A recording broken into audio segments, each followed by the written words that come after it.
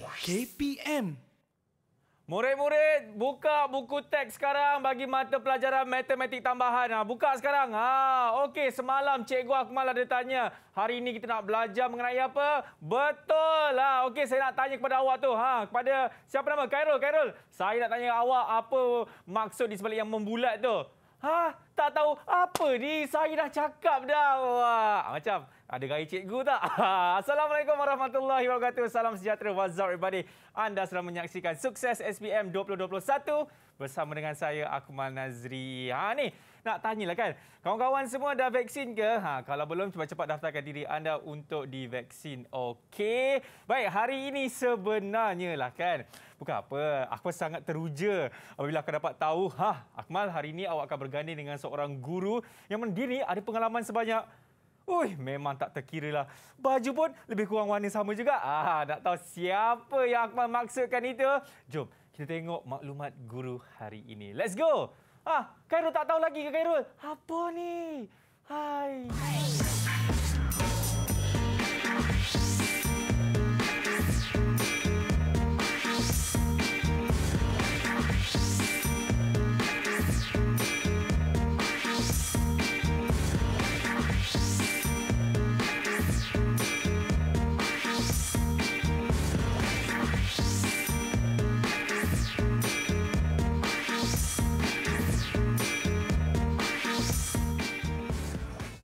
Ini dia kita akan bersama dengan Cikgu Hamima. Assalamualaikum Cikgu. Waalaikumsalam. Hai Akmal, ya. betul tenaga Akmal hari ini. Ya. Bimbang saya. Kenapa Cikgu? Bertenaga sangat saya jadi okay. terkejar-kejar juga. Jangan risau, kalau Cikgu nak saya kurangkan bertenaga saya akan buat. Jadi Cikgu, uh... jangan begitu.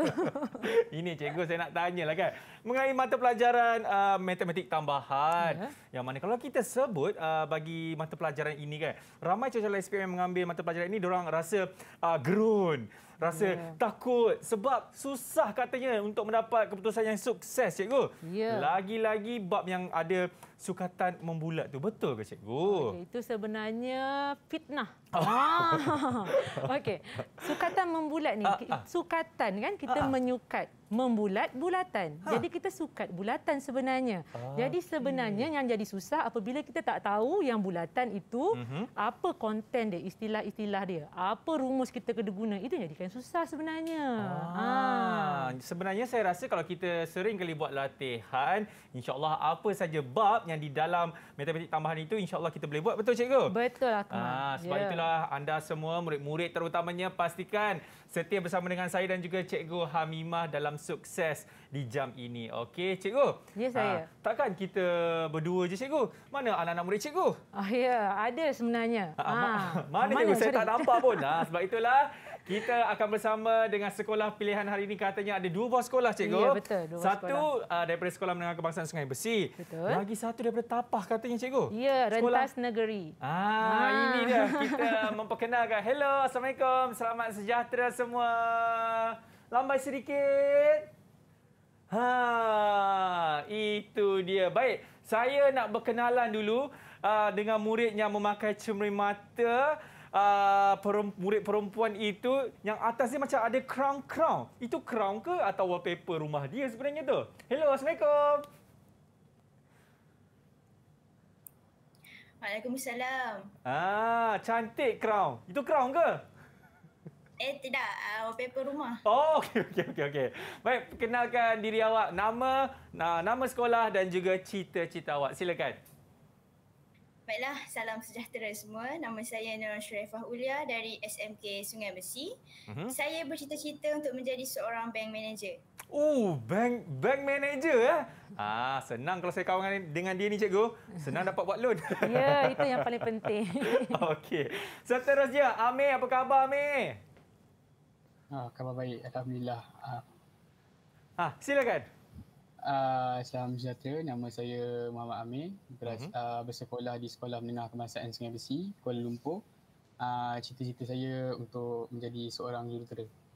Ah, itu dia. Amir okey ke Amir? Suara macam sedih je Amir. Kenapa Amir? Amir okey eh? Ah, tak je, okey. okey.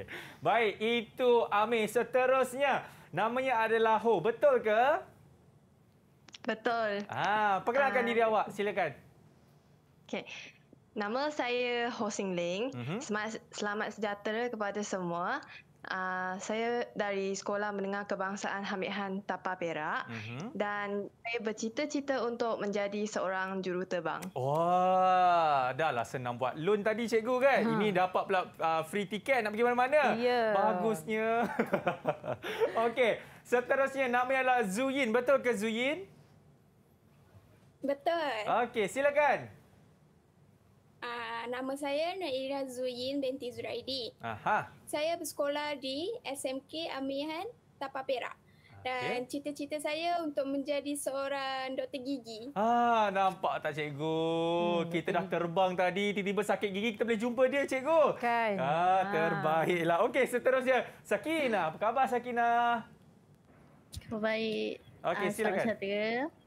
Nama saya Siti Nur Sakina binti Abdul Muluk. Saya dari sekolah SMK Sungai Besi, Kuala Lumpur. Cita-cita saya interior designer. Ah, nampak cikgu. Dah sakit gigi kita tadi. Balik rumah, rumah cantik. Didesain oleh Sakina. Wow, tak sabar saya. Terbaiklah. Okey, terakhir sekali. Siapa nama awak? Um, selamat sejahtera semua. Nama saya Rashninder Singh. Mm-hmm. Saya dari SMK Hamihan Tapa Perak. Mhm. Uh, cita-cita saya adalah nak jadi seorang saintis. Ah, yang ini saya tak tahu macam mana saya nak link dengan cita-cita saya tadi dah cikgu kan.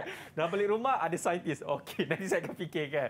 Baik, itu dia murid-murid yang akan bersama dengan kita pada jam ini. Cukup ceria dan mereka semua dah tak sabar-sabar. Tapi sebelum itu, ingat ah, kita belum menang lagi jadi sila patuhi segala SOP. Murid-murid semua sentiasa memakai pelitup muka, sentiasa menjaga jarak satu meter dan juga ini sentiasa kerapkan mencuci tangan menggunakan gel pembasmi kuman. Dan sekarang ini saya nak minta Cikgu Hamimah kita Ya. kita lakukan sanitasi terlebih dahulu. Boleh ke Cikgu? Boleh. Oh, belum ajak dia dah Oh, datang. itulah pasal.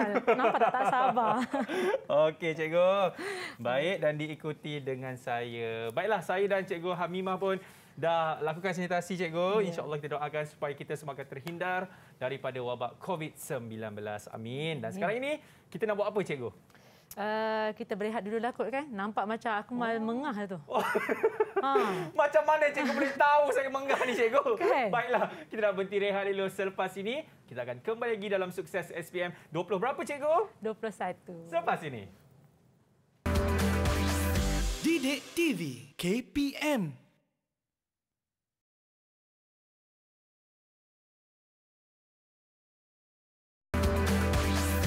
Didik TV KPM Alhamdulillah masih lagi menyaksikan Sukses SPM 2021.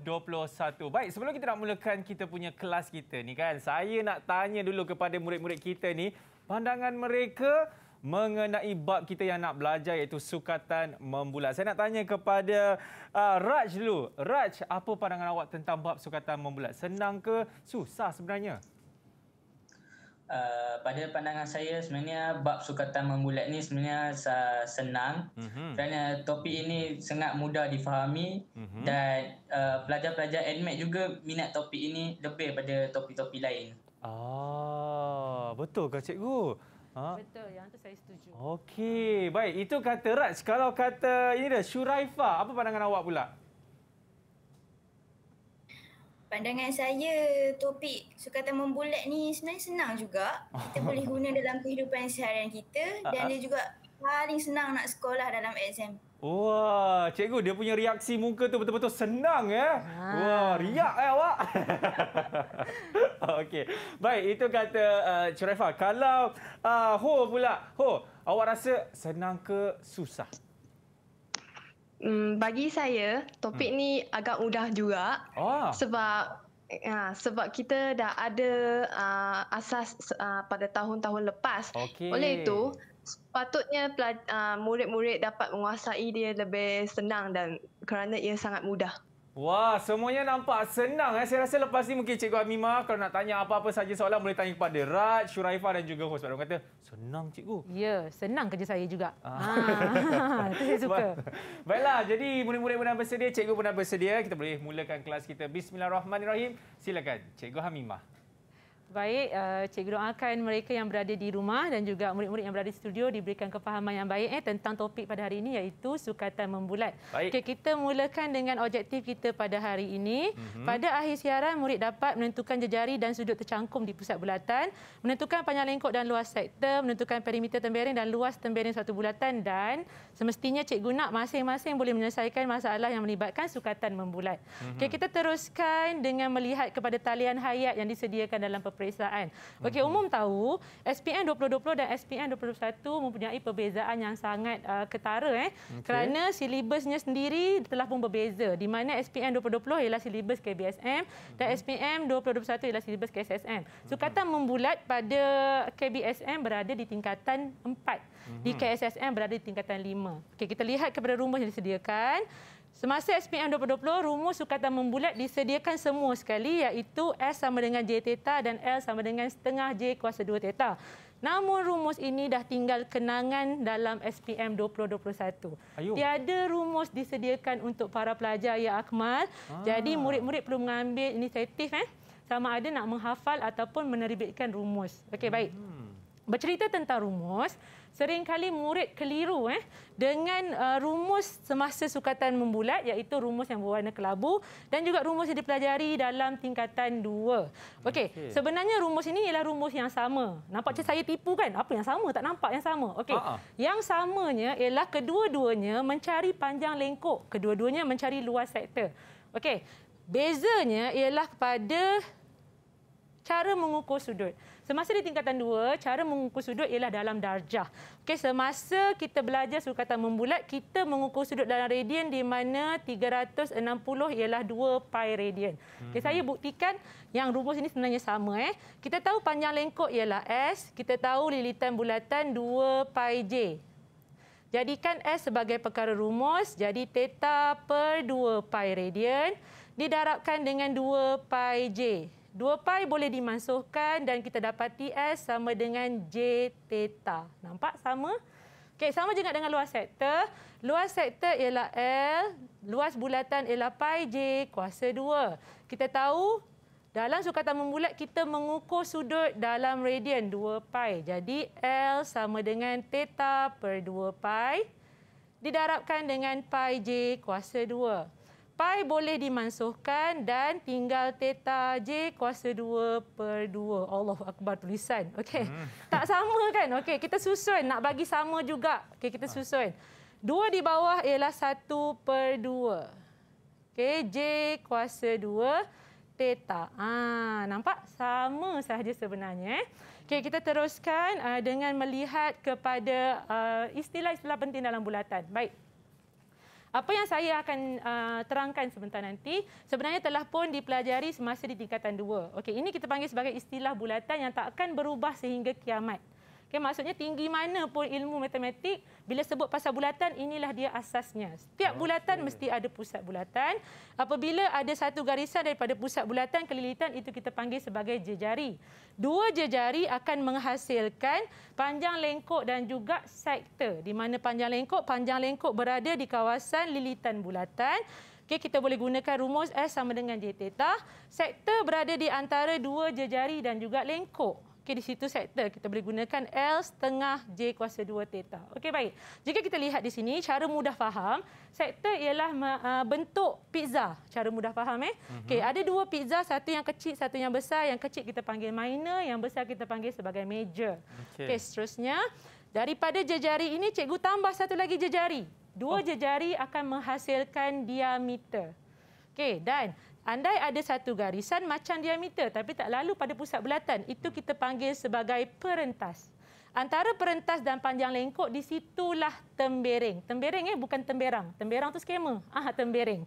Okey, andainya ada satu garisan di luar bulatan ha. menyentuh sekali pada uh, tit, Itu pada saya bulatan. tahu apa cikgu. Ya. Tangent. Pandai aku mah. Tepuklah sikit memory untuk saya.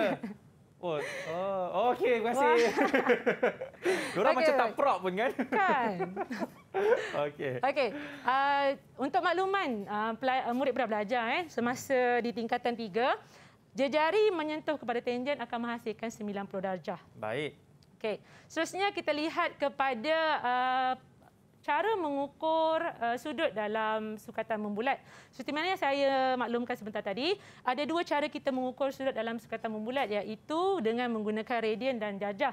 Di mana satu bulatan radian ialah 2 pi dan satu bulatan darjah ialah 360 darjah. Okey. Mhm. Cara untuk menukar radian kepada darjah ialah dengan mendarat 180 per pi dan juga darjah kepada radian ialah dengan mendarat pi per 180. Pi di sini merujuk kepada 3.142.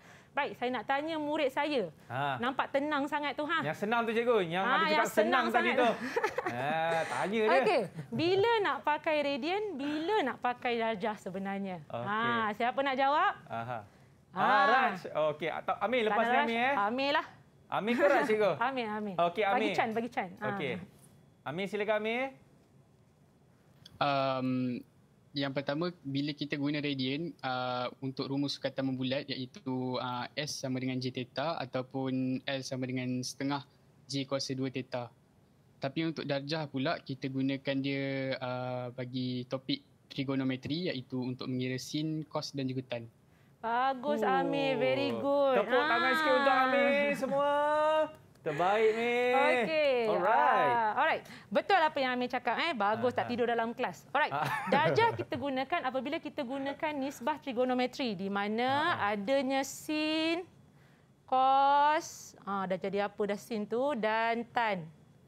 Okey, sin, cos dan tan kita kena gunakan theta dalam darjah eh. Okey, Mhm. sementara radian seandainya kita gunakan S sama dengan J theta, rumus-rumus sukatan membulat, maka kita punya theta dalam uh, radian. Okey. Sering kali eh murid akan uh, tertukar. Biasanya memang murid akan tertukar. Dia dah pa- panik kan? Dia dah panik masa nak jawab peperiksaan dia tertukar.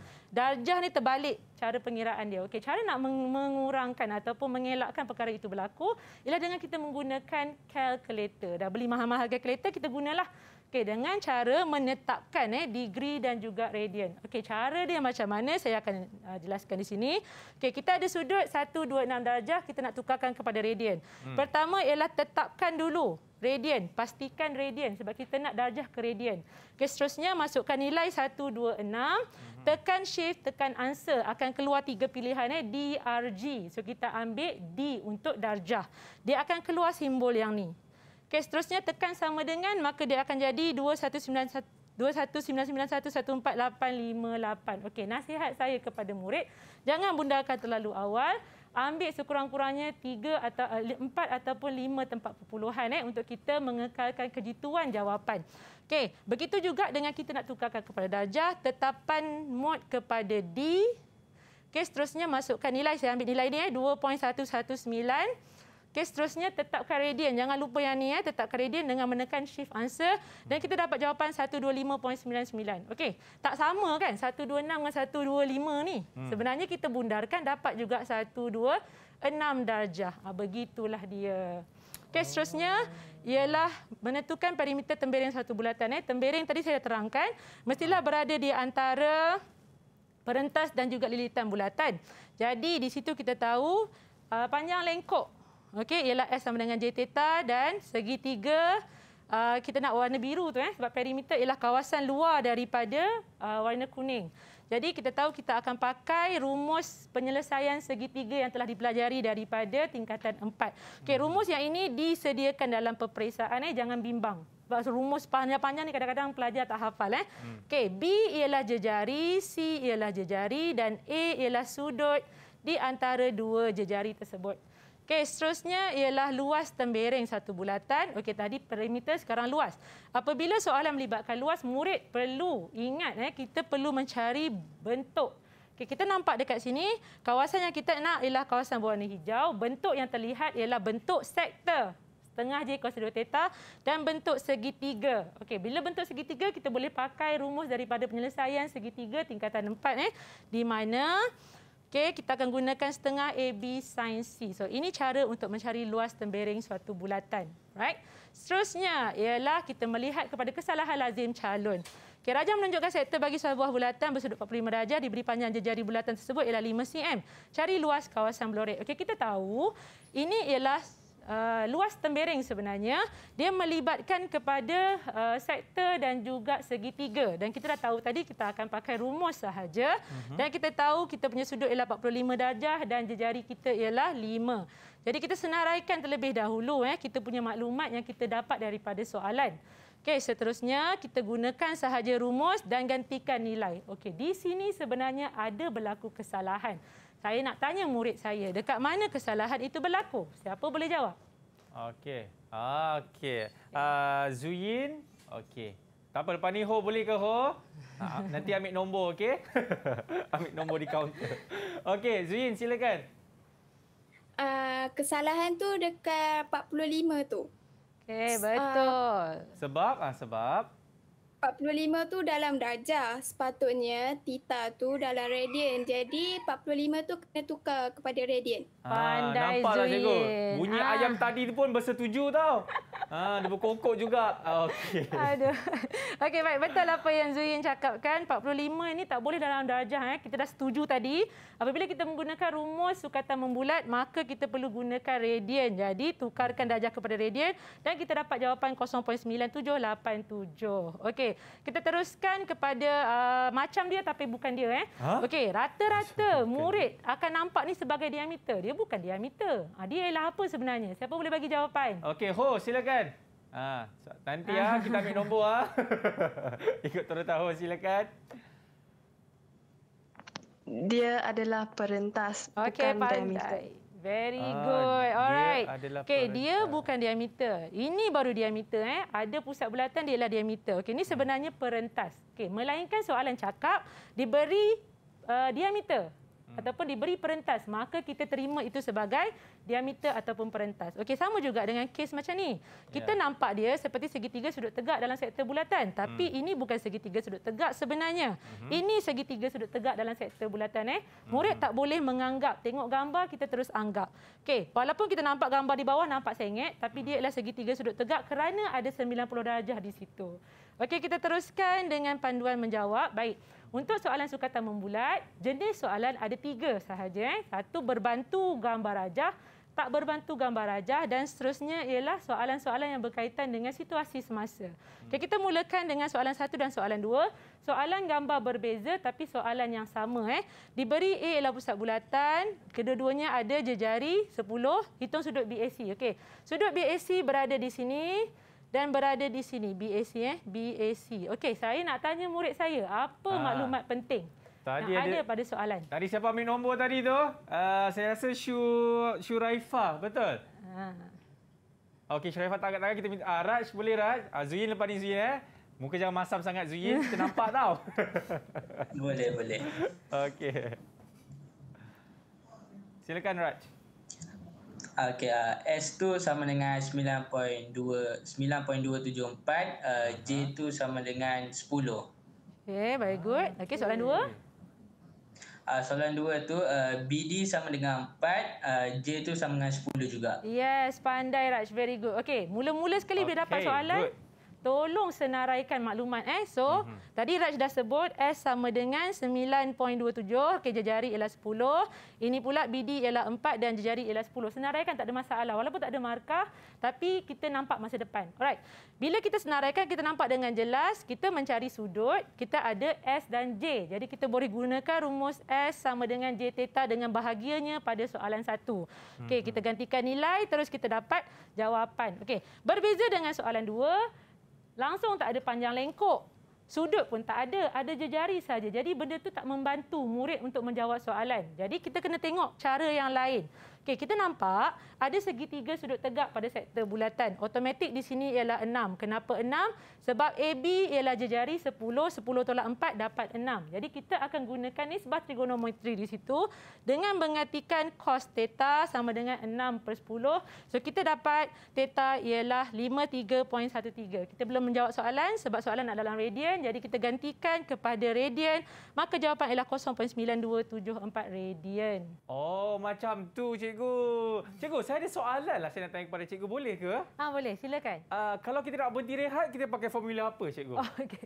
Berhenti rehat tak ada formula. Oh. tapi boleh tak saya tinggalkan dahulu soalan kepada murid saya? Eh, kenapa tak boleh cikgu? Soalan Ah, apa tu? Ah, soalannya okey. Ha?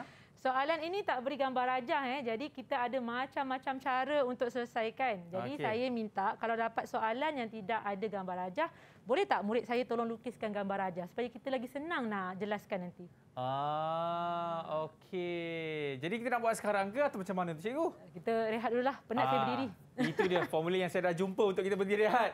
Jadi kepada anda semua kita nak berhenti rehat dulu. Selepas ini kita akan ah, kita akan tengok macam mana uh, nak jawab bagi bentuk soalan macam ni. Betul cikgu eh? Betul. Selepas ini dalam sukses SPM 2021. Didik TV KPM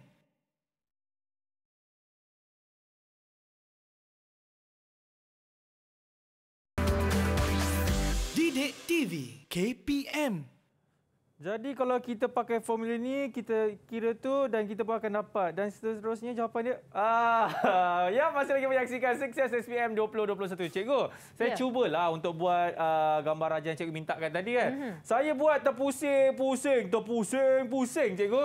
Tak pusing-pusing juga jawapan ni cikgu tak timbul-timbul. Mungkin kita boleh tengok macam mana jawapan yang betul. Boleh ke? Boleh. Alright, saya nak minta murid-murid saya angkat jawapan kita tengok sikit macam mana. Bagi tahu abang aku malah awak ni. Ha. Angkat jawapan. Angkat jawapan. Oh, tu Ui, dia. macam aiskrim tu Ya. cikgu.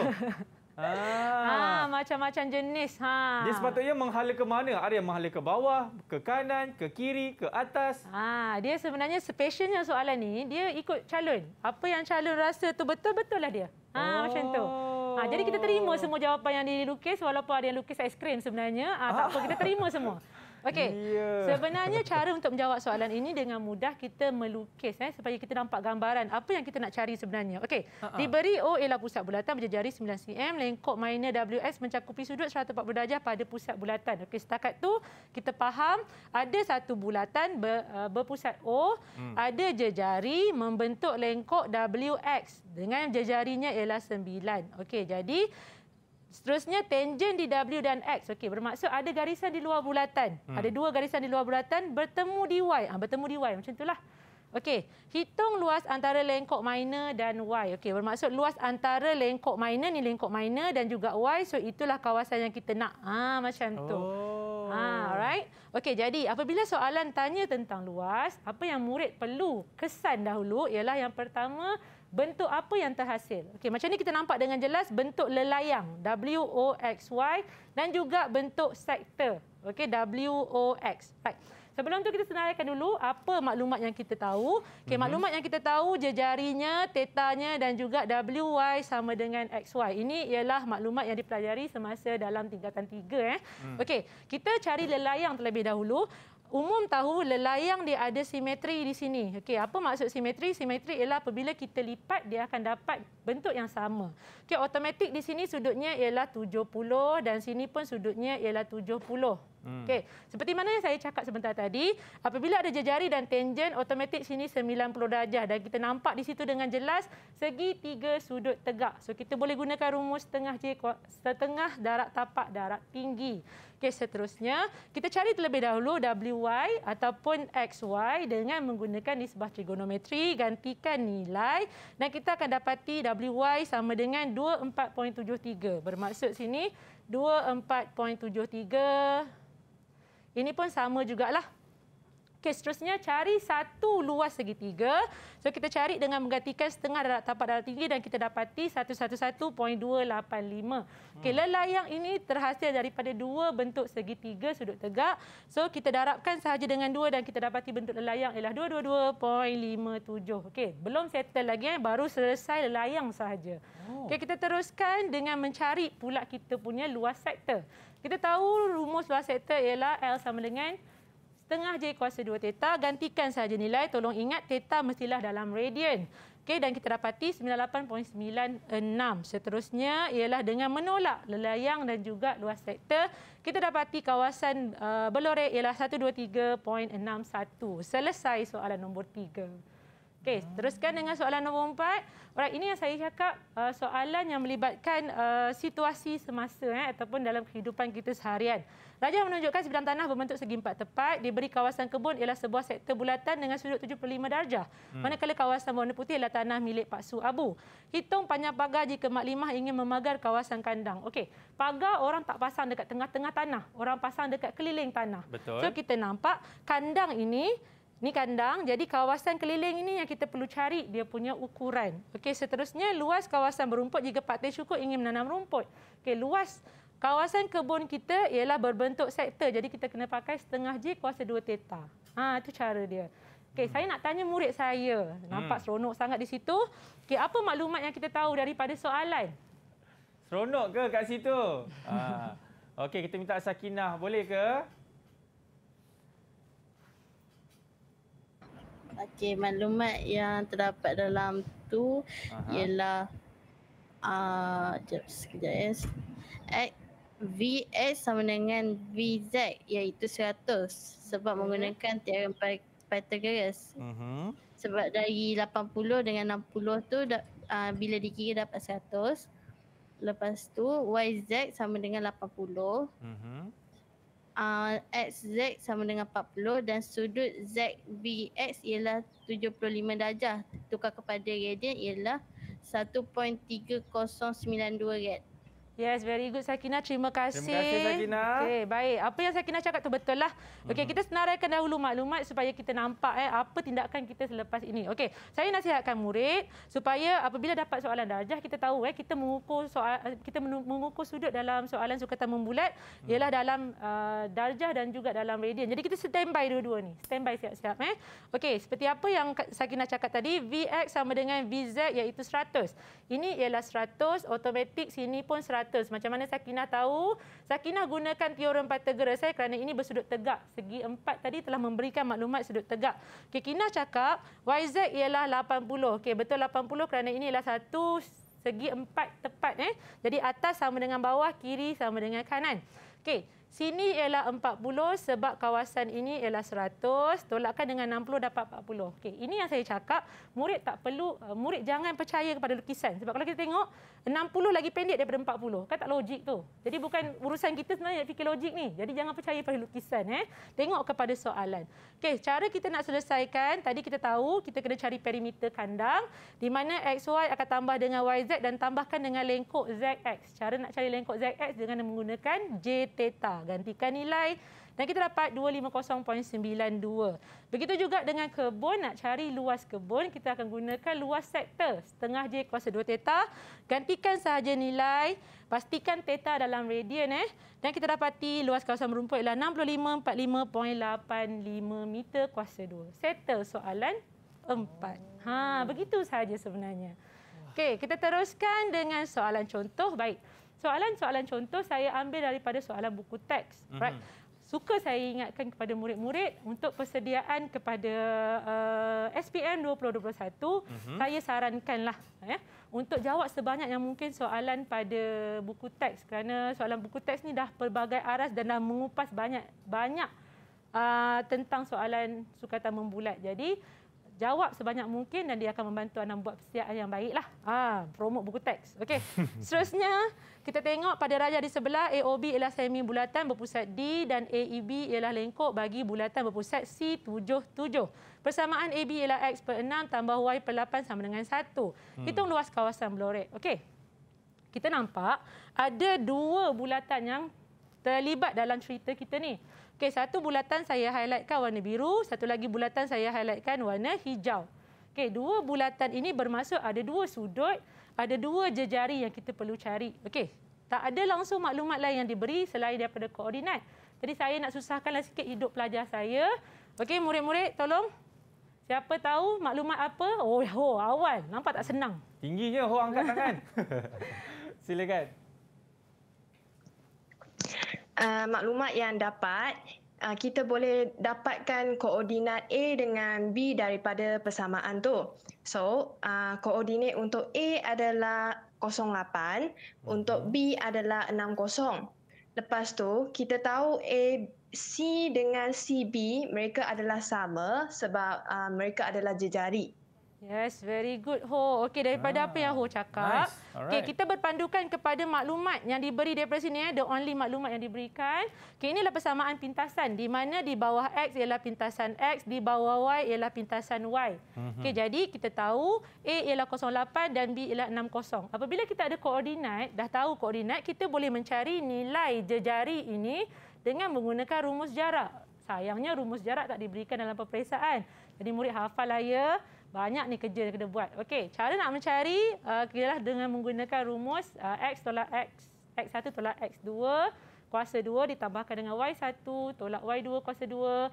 Punca kuasa 2 kan jawapan anda. Okey, so kita mulakan dengan mencari AC dan juga AB. Eh. Okay, cari hmm. AC dah terus dapat CB. Right. Jadi kita gunakan rumus jarak dan kita dapati punca 50. Eh. Bermaksud di sini ialah punca 50. Di sini juga punca 50 kerana dia jejari yang sama. Okey, di sini kita dapat 10. Okey, bermaksud sini ialah 5 dan sini ialah 5. Okey, tugas seterusnya ialah kita perlu mencari sudut. Sudut untuk kawasan berwarna hijau kita dah tahu dia 180 bermaksud pi radian. Kita dah tahu. Okay, yang kita tak tahu ialah sudut di sini. Cara nak mencari ialah dengan menggunakan petua kos. Kenapa pakai petua kos? Kita dah belajar dalam penyelesaian segitiga tingkatan empat. Kita dah tahu sisi, sisi sisi. Kita nak tahu sudut, jadi kita kena gunakan petua kos. Okey, gantikan nilai dalam petua kos. Okay, dan kita dapati kos ACB bermaksud sudut di sini ialah 90. Dan 90 ini dalam darjah.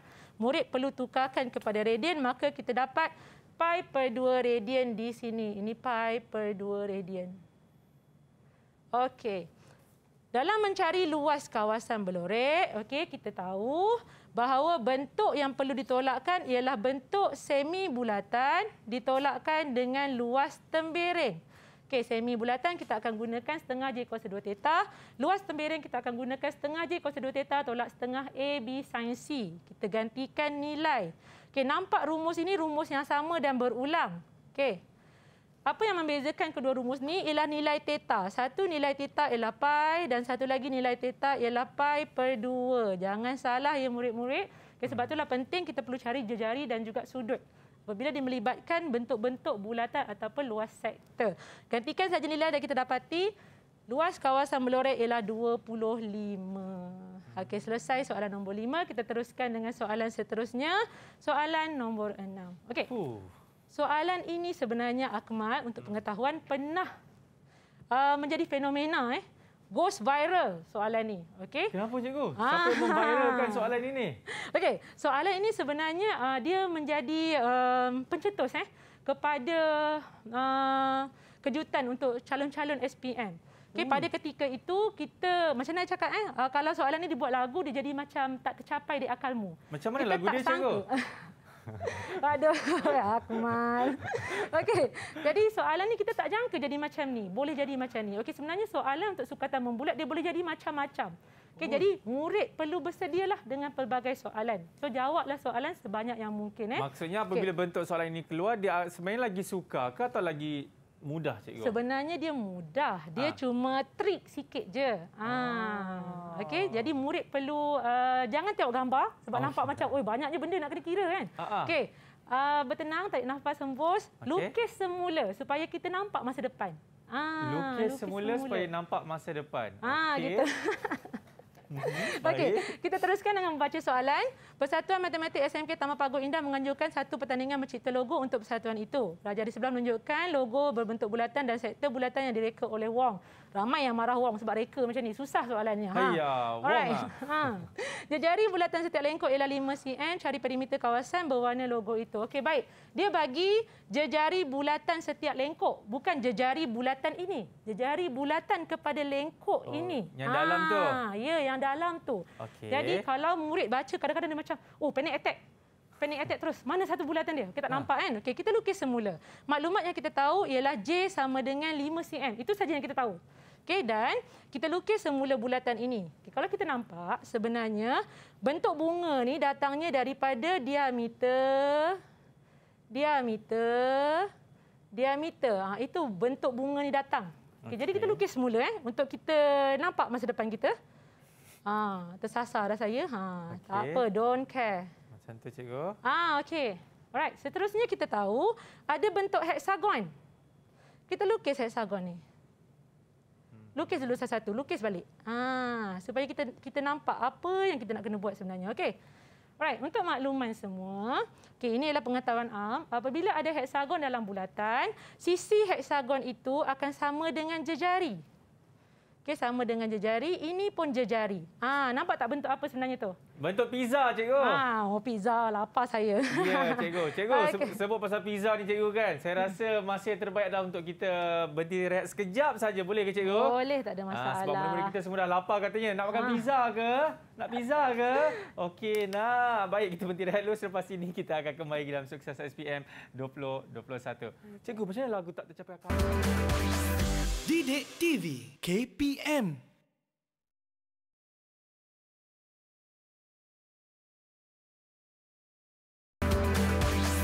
Didik TV KPM Ha, sedapnya makan pizza cikgu kan? Baik, masih lagi menyaksikan Sukses SPM 2021 bersama dengan saya Akmal Najri. Tadi cikgu ada mengatakan kalau kita nampak bentuk soalan yang macam ini yang kata Wong yang buat tu cikgu eh. Ya. Ha, jangan fening-fening kepala. Ha, buat sahaja balik supaya kita akan nampak masa depan. Betul cikgu? Betul. Ha, sekarang ni masa depan kita dah dekat mana dah cikgu tu? Okey, baik. Alright, tadi kita dah nampak di sini uh, sisi heksagon dan jejari adalah sama eh. Okey. Okey, jadi dia membentuk segitiga sama sisi di situ. Okey, kita tahu segitiga sama sisi bermaksud sudut dia pun sama. Jadi sudut di sini ialah 60 dan di semua kawasan sudut ialah 60 juga. Okey, jadi kita dah tahu segitiga sama sisi. Kita tengok balik soalan. Ha-ha. Panjang lengkok ni ini ialah jejari kepada sektor kita eh. Okey, Ha-ha. kalau kita tengok, ni sebenarnya memang original jejari lah daripada bulatan. Okey, ini ialah sisi heksagon. Tadi kita dah setuju sisi heksagon sama dengan jejari, Ha-ha. maka sini automatik 5 dan sini automatik 5 dan sini pula 60. Sebab apa? Sebab tiga-tiga sama sisi. Hmm. Okey, dah terus nampak dah dia punya sektor tu. Jadi kita boleh terus menggunakan theta dalam radian 1.047 radian, gantikan nilai S sama dengan J theta, maka kita dapat 1. Panjang lengkok ialah 5.235. Okey, ini ada baru satu. Hmm. Panjang lengkok kita ada 1, 2, 3, 4, 5, 6, 7, 8, 9, 10, 11, 12. Maka 12 didarabkan terus dengan 5.235 dan kita dapat 62.82. Punya pendek jalan kerjanya. Ha. Tapi semua terganggu dengan bentuk itu. Macam tu je cikgu? Iya, macam tu je. Ha. Lah, senang sangat ni cikgu. Cuba Kan? bagi yang susah sikit. Amboi. Ini macam tak ada apa-apa lah cikgu. Kan? Ha. Okey, baik. Kita teruskan dengan uji minda. Ha, ha. Okey, buktikan bahawa anda sebenarnya memahami apa yang telah cikgu terangkan tentang sukatan membulat. Okey, baik. Uji minda ni sengaja saya ambil soalan-soalan berunsurkan hari lahir eh, kerana hari ini adalah hari lahir anak saya Oh, yang cikgu. kedua. Ah, minta maaf lah mama kena kerja. Okey, baik. Cikgu. Ha. Kita teruskan eh dengan soalan nombor tujuh. Mak Busu ingin membeli sebiji kek sempena sambutan hari lahir kakaknya Cik Mah. Sayangnya perika kek kegemaran beliau, Ana Jalil Bakery, hanya menjual kek dalam bentuk potongan. Setiap satu potong kek mempunyai sudut 0.698 radian, berketebalan 8 cm dan jari 11 cm. Berapa potong kek yang perlu Mak Busu beli untuk menghasilkan sebiji kek? Okey, ini ialah penjual kek yang tersakiti eh. Ha? Boleh dia jual dalam bentuk potongan, si ada sudut lagi. Okey, tak apalah itu Aduh. cara dia ber, berbisnes Macam kita mana? abaikan dia. Okey, saya nak tanya murid saya, berapa potong Ha. kek yang perlu Mak Busu beli untuk hasilkan sebiji kek? Ha, boleh Okey, mula siapa mengira. nak jawab? Kita tengok siapa yang suka makan kek tu. Eh, cikgu, ada pelajar terkeluar cikgu. Ah, siapa yang keluar tu? Ponteng kelas eh. Sakinah mungkin jangan terkejut sangat. Okey, ada sesiapa tahu untuk uh, nak jawab bagi soalan ini, murid-murid? Ada? Eh? Oh, tadi semua angkat tangan. oh, dia tengah kira-kira tu. Ya, tengah kira-kira kira. ke? Tengah kira-kira? Ah, okey okey okey. Kita bagi masa dalam 5 saat boleh cikgu? Ha, boleh, kata senang. ha, kan? Okey, lima saat. Ah, pergi mana tadi? Ah, belanja pizza dekat kita orang. Ya. belanja kek. Okey, dah siap ke? Okey, boleh angkat jawapan. Okey, uh, siapa nak jawab? Oh, siapa nak? Ha, ha. Oh, tunjuk saja dekat kertas cikgu. Ah, boleh tunjuk Okey, saja. cuba Okey, tunjuk boleh, dekat boleh. kertas semua. Angkat kertas. Ah, nampak Okey. jawapan sembilan. Okey, Amir belakang sikit Mi kertas Mi.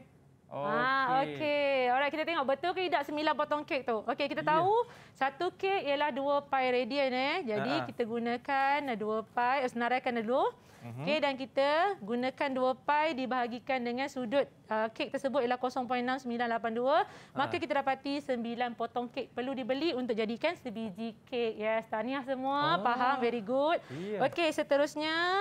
Bagus. Right, ekoran COVID-19.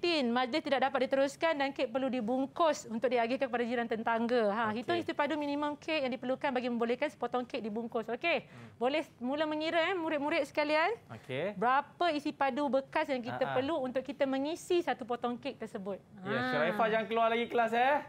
ah. Okey. Nanti dia terkeluar lagi cikgu. Itulah. Right, saya bagi hint sikit eh. Okey, uh, kek berbentuk uh, macam pizza juga eh. Dia Bulat. berbentuk uh, sektor. Oh, sek- Ah, okey, dia bulat, bulat sektor. Ah, Ya, sebiji kek bentuk bulat. Okey, silinder lah. Mhm. Okey, macam ni dia berbentuk satu sektor. Okey, bezanya murid kena darabkan dengan tinggi eh sebab kita uh, tukarkan kepada bentuk 3D. Luas sektor 2D. Ha, ini 3D. Ha, jadi Ini murid perlu darabkan dengan tinggi. Kita tengok macam mana murid buat. Ah, ah. Cikgu, ah. saya nak tanya sikit lah kan, Ya. kalau kita jumpa bentuk-bentuk soalan macam ni, sebenarnya apa yang perkara pertama ah, murid-murid ni kena lakukan? Adakah dia kena betul-betul faham kehendak soalan itu atau apa sebenarnya cikgu? Okey, sebenarnya uh, bila kita baca, kadang-kadang kita tak berapa nak faham. Jadi kita senaraikan uh, maklumat penting. Uh, contohnya ah. macam tadi kita nampak uh, theta sudut kan? Theta, kita nampak ada dia dia nyatakan jejari. Okey, so Hmm. tulis J sama dengan 11. Okey, dan kita, dia ada beritahu tinggi, so kita tulis. Kita tulis siap-siap Ah, maklumat penting. Jadi okey. kita boleh uh, hubungkan.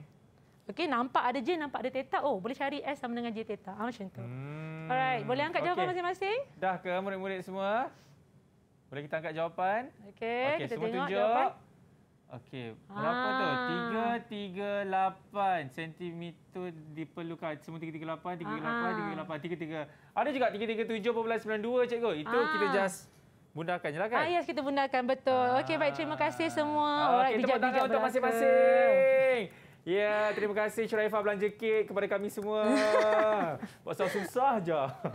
Okey, baik. Kita nampak tadi murid-murid saya ah, dia telah buat luas sektor dia darabkan dengan tinggi. Okey. Kita pun gantikan saja nilai dan kita dapat 337.92. Okey, memandangkan itu ialah isi padu kek. Bekas mestilah lagi besar daripada kek. So Betul. kita mengambil penghampiran 338 dan kita mesti mencari bekas yang lebih besar daripada 338 eh. Okey, selesai soalan tujuh. Kita teruskan dengan soalan seterusnya soalan lapan. Okey. James Corporation ditugaskan untuk mengelola majlis sambutan hari lahir Wan Nihas. Bagi memperolehi untung yang banyak, Puan Anis selaku pengurus kewangan telah meminimumkan pelajaran untuk setiap item. Nik Nadin ditugaskan untuk menghasilkan topi seperti dalam rajah. Hitung saiz minimum kertas yang diperlukan untuk menghasilkan topi tersebut. Bundarkan jawapan anda kepada integer terdekat. Okey, baik. Alright. Ini ialah bentuk 3D topi eh. Jadi kita tahu apabila kita nak buat bentuk topi dia datang daripada bentuk 2D. Jadi kita perlukan bentangan kepada kon supaya kita boleh lipat kertas tersebut menjadi bentuk topi hari lahir. Okey. Mhm. Jadi apa maklumat yang penting yang kita perlu tahu? Yang pertama dia bagi dekat kita diameter dan juga tinggi. Okey di situ kita lukis segi tiga eh. Sudut tegak. Jadi kita tahu di sini ialah 8 dan kita tahu di sini ialah 20. Okey, kita lukis bentangan. Mhm. Ini bentangan uh, yang kawasan yang kita perlu potong eh untuk menghasilkan uh, segitiga. Untuk menghasilkan kon, maafkan saya. Okey, sending kon kita tahu ini ialah sending kon. Jadi kita perlu menggunakan teorem Pythagoras untuk mencari sending kon. Okey, lilitan bulatan ialah 2 pi j. Tapi diberi kepada kita 16, maka kita cuma gantikan dia sebagai 16 pi. Okey? Dan seterusnya, kita teruskan pengiraan mencari sending cone. Okey, mencari sudut eh di sini. Kerana apa sudut di sini? Kerana kita perlukan sudut di sini untuk mencari ukuran ini. Mhm. Ha, okey, jadi kita gantikan sahaja nilai dan mencari sudut di situ ialah 2334 radian. Okey, saya zoom in sedikit supaya kita nampak apa yang kita tengah cari sekarang ni. Kita mencari nilai X dan Y. Right, gantikan sahaja nilai di mana X kita mestilah dalam darjah eh. Kerana segitiga di sini kita akan menggunakan nisbah trigonometri untuk mencari nilai Y. Okey, jadi gantikan dalam cos. Kita dapati panjang Y kita ialah 14.89. Right. Seterusnya, kita tahu ini bentuk kita. Okey, ini ialah sending cone. Automatik yang sini ialah sending cone juga. So, kita boleh kata sini ialah 21.54. Okey. So kita kira yang atas ni untuk mencari uh, saiz yang ni eh berapa panjang saiz dia.